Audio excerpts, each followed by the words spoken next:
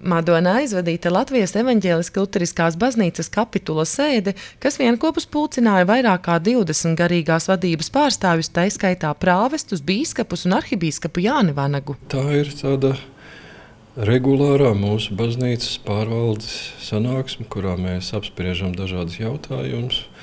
Šodien izskatījām, starp citu, arī pagājušā gada statistiku Ko no tās var secināt, mēģinām analizēt un kaut ko plānot nākotnē.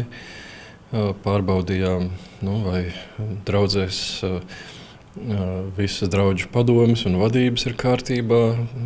Skatījāmies finanšu situāciju, nu, tāda ikdienišķās dzīves jautājuma. Mums ir kapitulas sēdes trīs reizes gadā, jo mūsu baznīcā ir trīs diecēzes - arhidiecēze, Liepājas diecēze un Daugopils diecēze. Un Madona kas tagad ietilps Daugopils diecezē, ir vieta, kas šoreiz uzņem baznīcas lielo kapitulu. Šīs sēdes ir ļoti būtiskas eh, visai baznīcai kopumā.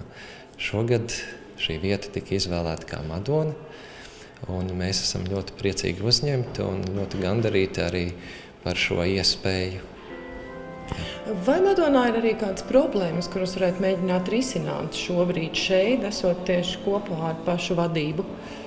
Um, Madonas problēma. Madonas problēma noteikti ir tā, ka uh, vismaz līdz šim laikam ir bijis eh, ļoti eh, liela spriedze ar to, ka mācītāji ir bijuši vairāki, patstāvīgi mainījušies.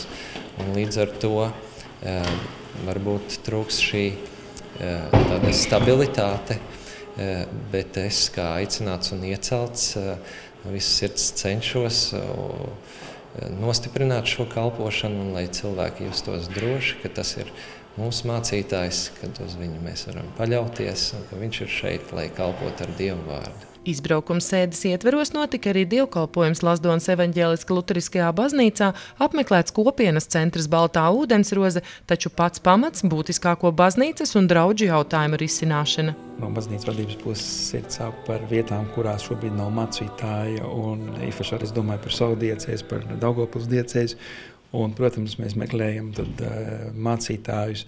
Ja, piemēram, šajā brīdī Reizeknas draudzē, Reizeknas draugu komplektam ļoti ceram, ka uh, kopīgās sarunās ar prāvestiem arī kaut kādā mēs varam atnākt pie uh, risinājumiem. Savukārt arhibīskaps Jānis Vanaks kā vienu no neparastākajiem jautājumiem min Vācu svētās Pētera draudzes iespējamo pievienošanos Latvijas evaņģēliskajai luteriskajai baznīcai, tādējādi pakāpeniski atjaunot pirmskara situāciju, kad Latvijā bija viena evaņģēliska luteriskā baznīca ar divām nodaļām.